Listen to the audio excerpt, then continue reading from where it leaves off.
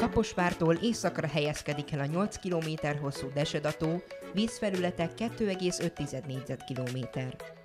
A Kapos folyó két partján, a Somogyi domság területén fekszik.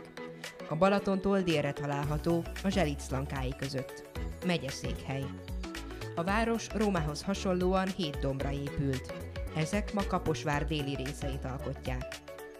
A belváros szívében, a Berzsenyi Park mellett áll nagymúltú iskolánk, a Berzsenyi Dániel általános iskola. Az avatásra 1920. november 20-án került sor. A következő évben Kőszegváros polgármestere egy kis tölgyfát küldött a trianoni határról, amelyre ezután Kassa, Kolozsvár és Nagyvárad földjét tüntették.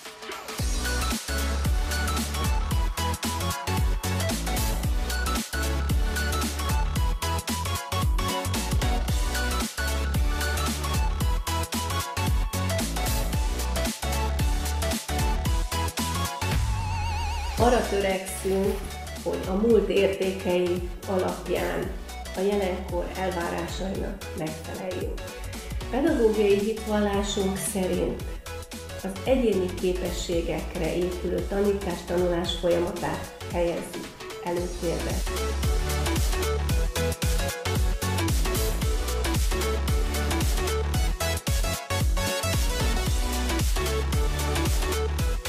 Testnevelés tagozatos iskolává 1972-től váltunk.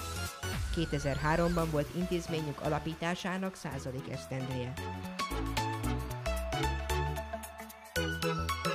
A pedagógusok nagyon barátságosak, kedvesek, és amennyire én meg tudom ítélni, szakmailag is felkészültek. A gyerekek élvezik a tanórákat, sőt a tanórán kívüli foglalkozásokat is, amik közül nagyon sok mindent választhatnak.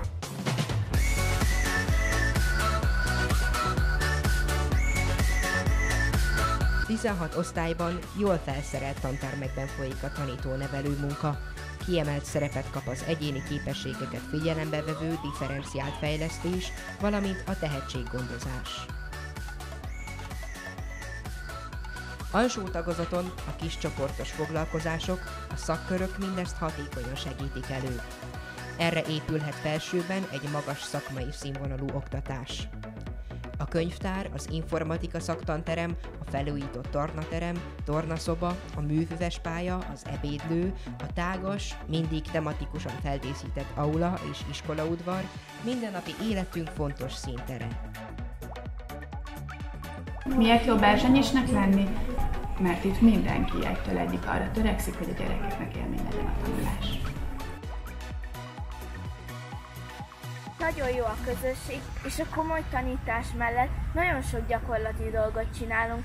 Például informatika órán robotozunk, technika órán sütünk, főzünk, varunk. Intézményünk fő profilja a kiemelten kezelt sport, ezen belül is az atlétika és a kosárlabda. Tudjuk, hogy testi, lelki egészség nélkül nem alakulhat ki épp személyiség.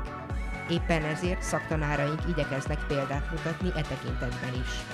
Vannak köztünk maratonisták, és értékű, hogy a tantestületben senki sem dohányzik. Minden gyermeket fontosnak tartunk, törekszünk arra, hogy mindenkiben megtaláljuk a jót. Van értékes múltunk, a jelent most éljük, és a jövőt formáljuk. Létezik-e ennél szebb feladat?